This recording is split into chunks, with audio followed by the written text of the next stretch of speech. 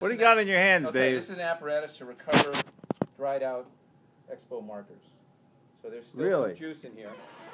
And if you get the uh, Let's see how it works, Mr. Bennett. going If I go flying some away. kind of centrifuge force, you're gonna push all that liquid back down, and the marker is even better than new. Wow.